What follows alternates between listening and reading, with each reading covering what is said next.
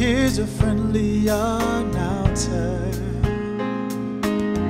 I have serious news to pass on to everybody. What I'm about to say could mean the world's disaster, could change your joy and laughter to tears and pain. Is that love's in need of love today? Don't delay, send yours in right away.